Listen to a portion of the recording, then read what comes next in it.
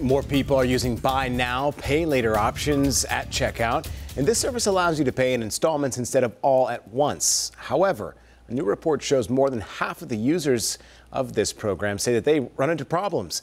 Vanessa's breaking down what you should look out for before you go shopping so you're not left asking where's the money in this circumstance. Yeah, Colin, you know, these plans really help folks stretch their budget, but no credit offering is perfect. You alluded to this, but a new Bankrate survey shows roughly 56% of users say they experienced issues with buy now, pay later services. You can see some of the problems they reported experiencing. Many pointed to overspending. You could see some reported missing payments, while others say they had trouble returning items and then getting that refund. You can see flat out 17% just regretted the purchase.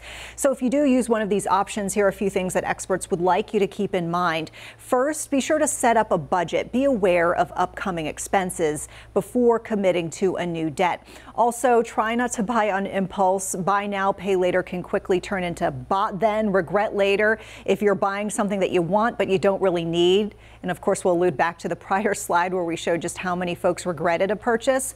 The third, just know what you're agreeing to. You want to read the service terms before you apply and agree. Some services could charge late fees. And then finally, keep track of the number of payment plans that you start. Of course, right, very tempting, Colin, but as always, with money and programs and things that you have to sign, you really just have to be informed and know your budget as well. Especially in the moment, especially for people like me who are impulse buyers, right? Got to remember. It's always hard. I, I get it. All right. Thanks, Vanessa.